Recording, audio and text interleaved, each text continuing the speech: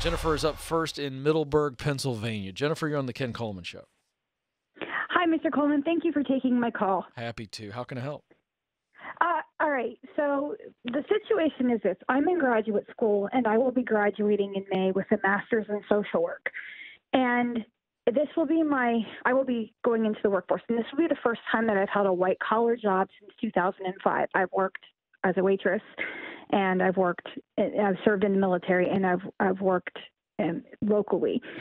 So I just want to know that when I go into what do I need to do when I go into the interview process that will set me apart, not only with just my resume, but when I sit down with a, a potential boss. Uh, what kind of questions do I need to ask them? And in return, how do I respond to some of their questions like, why, if, if with all the resumes in front of me, why should we pick yours? Yes. Very good question. And uh, before I give you the advice, have you ever been in an interview process before? Even though you say it's it's your first time in white collar uh, environment, you've sat through job interviews before, correct? Yeah. Yes, I actually had. Um, I was interning at, a, a, an agency, and I actually had the director and the building administrator, as well as one of their um, counselors from another area, actually run me through mock interviews. Good. So I kind of know what to expect, but it's still the how do you answer some of the questions without coming across as arrogant, I guess. Got it. Well, uh, I'm going to give you uh, an actual free resource we just launched. if you go to kencoleman.com when you hang up, it's going to take Mm-hmm. you about a minute to have what I'm about to tell you, which is five strategies on standing out in the hiring process. We just published this free resource called How to Win the Interview. So I'm going to Okay. prepare you so that you can perform. But I walk you through what to prepare for. The first section is what you need to know. This is you thinking through uh, everything that you might need to know about the actual company, mission statement, purpose statement, awards they've won.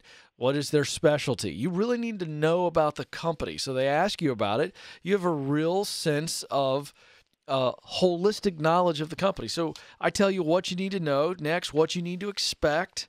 These are the type of questions you're going to need to be prepared for. How you need to dress, how you need to act, and what you need to ask. Because ultimately, Jennifer, I believe that if you uh, really ask good questions yourself, that's what sets you apart from everybody else.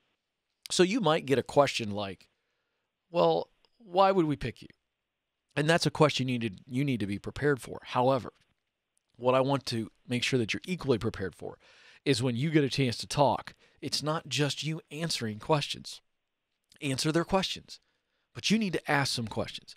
If it gets to the interview and they say, Do you have any questions for us? You need to say, Yes, I do. I have a few. I've, I've written them down right here. And don't be nervous about that. That actually makes you look very prepared and very impressive.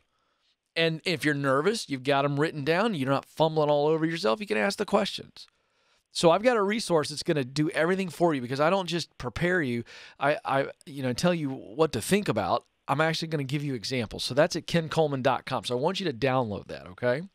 And then Okay. I want you to have a mindset. Last thing I'll tell you is I want you to have the mindset that you may not be the most impressive resume candidate, but you are and will be the most impressive candidate because of your preparedness and your passion to do the work.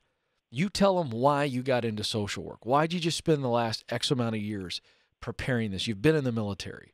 You know, you served our nation. Why? Give them the why and how this company allows you to fulfill your why. They need to hear stuff like that. And let me tell you something. You, me, uh, we may never be the most impressive people on paper, but we can be the most impressive people in the interview. And it's all about passion for the role and how you want to be a part of the bigger team. Remember, they're hiring you, Jennifer, to help the organization and them as a leader win. So all you got to do is show them how you're going to help them win. That's what they're looking for. Do you understand what I'm saying? It's not a beauty contest. This is a I need a a rock star on the team. And it's not about how how pretty and how impressive your resume is. It's do they see within you somebody that they want to go to battle with? Does that make sense? Yes, sir. All right, you got this, Jennifer. I want to hear back from you, by the way.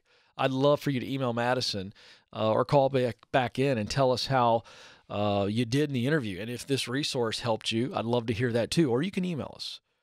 Uh, so that's that's exciting stuff. Go, Jennifer, go.